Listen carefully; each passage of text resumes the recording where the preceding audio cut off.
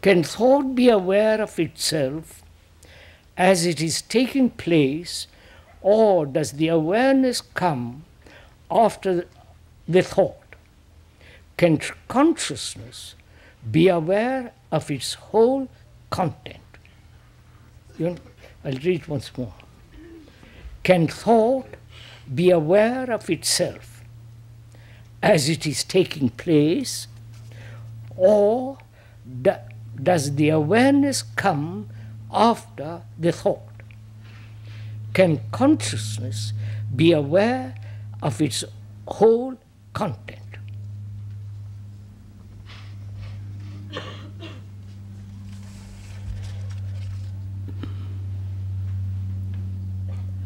Most of us are aware after the happening. Right? After the incident, after an action. Then we say, I have I should have done, I shouldn't have done. The questioner asks, can thought be aware of itself as it arises, not after, which is fairly simple, which is what most of us do. But the question is can thought as it arises be can there be awareness of that? You understand the question? You understand the question at least? Can you be aware? Please listen to this. Of your thought. Can that is, can thought be aware of itself as it arises?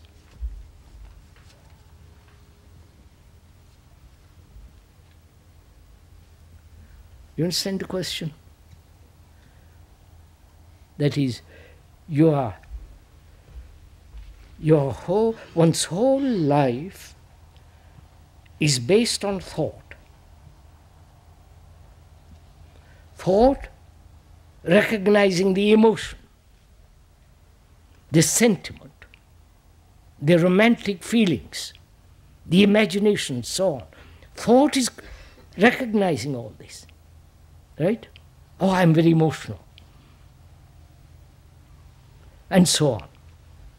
Now, thought is the is our instrument of all action. Right? Therefore, there is no spontaneity. If you look into yourself seriously, spontaneity can only exist when there is complete, total freedom. psychologically. So, can you, can your mind be aware of itself as thought arises? That is, can you be, can one be, is there an awareness as when you begin to be angry? You follow all this? Can there be an awareness as jealousy arises? Can there be an awareness as greed comes like a. Be aware of that. Can there be? Or you are aware that you have been jealous, or that you have been greedy, or that you've been angry. That's fairly simple. Most of us do that. But to be aware so attentively, the, you can see for yourself the anger coming in, the adrenaline and all the processes, the whole movement of anger. You can see greed come into being. See something you want and the, you follow the reaction. To be to be aware of that. Of course, one can, as it arises. Now, the question is a little more difficult, more deep, is can thought, please listen to this, which is you can be aware as anger arises. That's very simple. But is there an awareness of thought, th- awareness of thought itself? I want, you understand what I'm saying? You're thinking now, aren't you? Or are you all absent minded? You're thinking now, aren't you? Now, as you are thinking, find out if that thinking can be aware of itself, not you aware of thinking. You, you understand the problem? I wonder if you see this. It is great, it's, this is really great fun if you go into it. Not only fun, it's very, very serious because we can go very, very deeply into all this. That is, you are thinking about something,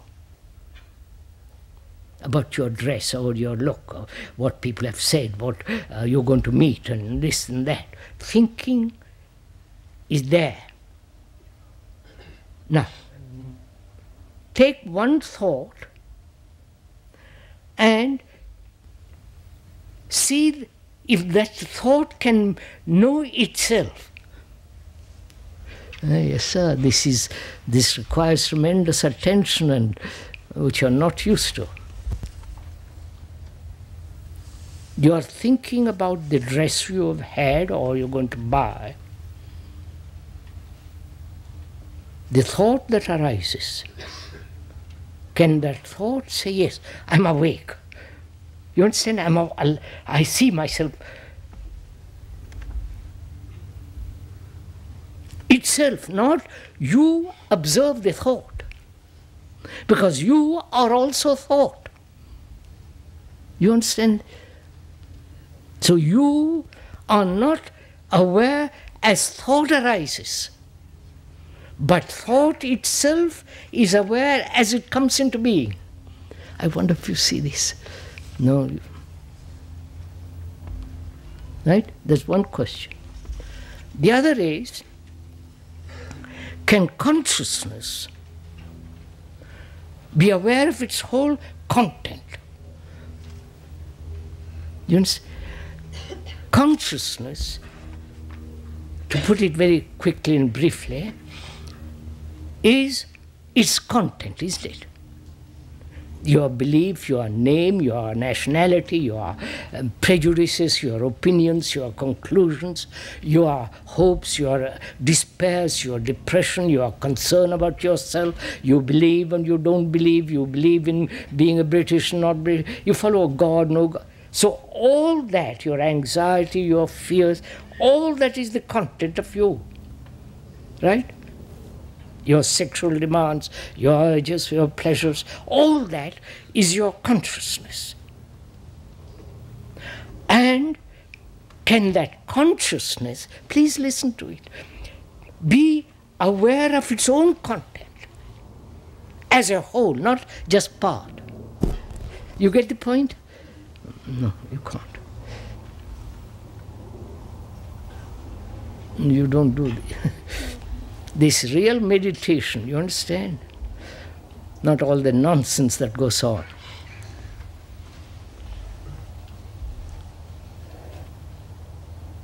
Because to see the whole of your being, not just your sexual demands,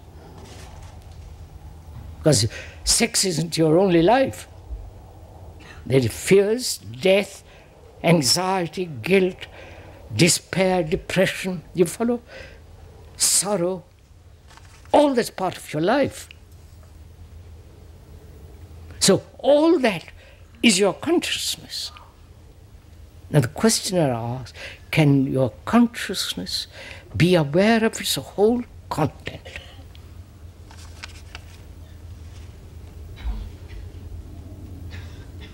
That means, can you observe? Is there an ob- not you observe? Is there an observation of the whole thing?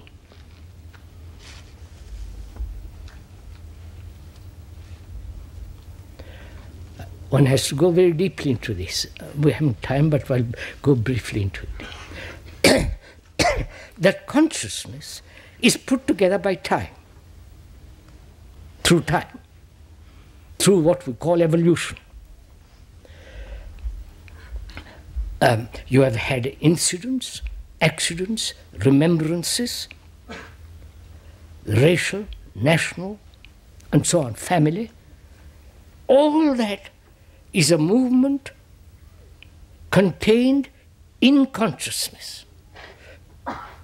Right? And is it ever possible to be completely free of that content? You understand? No, you, you're not interested in all this.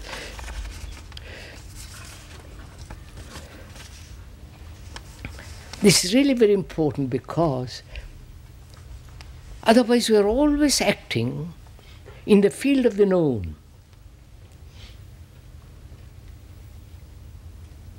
The known being the unknown, also the ignorance. There's never freedom. That's a man living always in the past, as you do. You may project that past into the future as an ideal, as a hope, and so on. But it's still the movement of the past, modified through the present. Right? So, a man who is completely, more or less living in the past, what is his mind? You understand? He may have new techniques, new. Mm, opportunities to learn other forms of skills, but it is centrally in himself, his consciousness is the movement of the past. Right? So, a man who living in the past, or a woman, what happens to his brain, mind? is never, can never be free. So the, a man who inquires into this very seriously has to find out whether this whole consciousness with its content can be seen at once, which is to have total insight into this. I don't know if you ever considered looking at anything wholly. To look at your wife or your girl or your husband, whatever it is, wholly. Not just her face or this or that, but the whole quality of another human being. And you can only do that when the you is not. You understand? When you're not centered here, me. The me is very small, very petty, because me is the accumulation of all this. So, when you begin to inquire into this, whether it is possible to see the whole content and movement of consciousness, which means the whole structure of the being.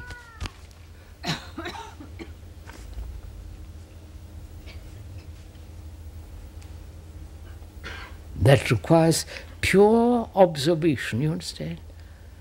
Not your direction, prejudice, like and dislike, all the rest of it, but just purely to observe this vast structure, very complex. Because of its very complexity, you must come to it very simply. Right?